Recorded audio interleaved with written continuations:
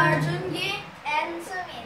We will play Camille the Crooning Camel. Camille the Crooning Camel had a desert fan.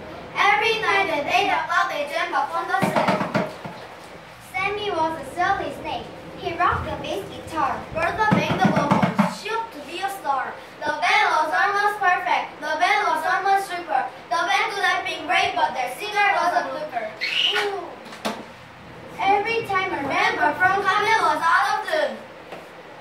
The desert fans run for cover when they heard her tune. Your singer cannot sing. Like a cat. When she tried to sing in sharp, it sounds just like C flat. So the members at a meeting, they tried to help Camille. They made her tea with honey and a touch of lemon peel. Ah! When they gave her singing lesson, she thought it was a joke. But every time she tried to sing, it sounded like a frog, frog, frog. What could be the matter? She really used to wrong. The band made a decision. It was time to see the dog. The camel and her band went to Dr. Fox. She could cure herds of birds and even frantic frogs. Open wide and please say ah, the doctor told Camille. She looked around Camille's wide mouth. Now tell me how you feel. Before camel could not speak, yell, or even cry. Hmm, Dr. Fox replied. Nurse, find me a fly. The nurse returned and in her hand she had a pillow string. Tied to the end was Fernando Fly. He was such a tiny thing.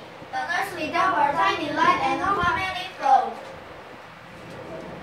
Fernando wiggled on the spring and now John told the toad. I'm free, I'm free, cried Toto Toad. I've been stuck in there forever. The animals cheered for Dr. Fox, for she was very clever.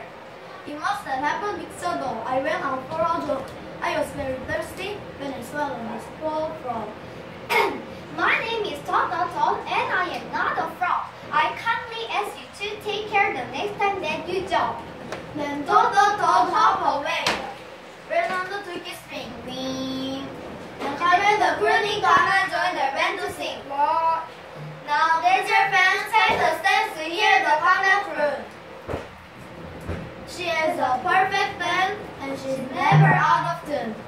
Because I'm happy.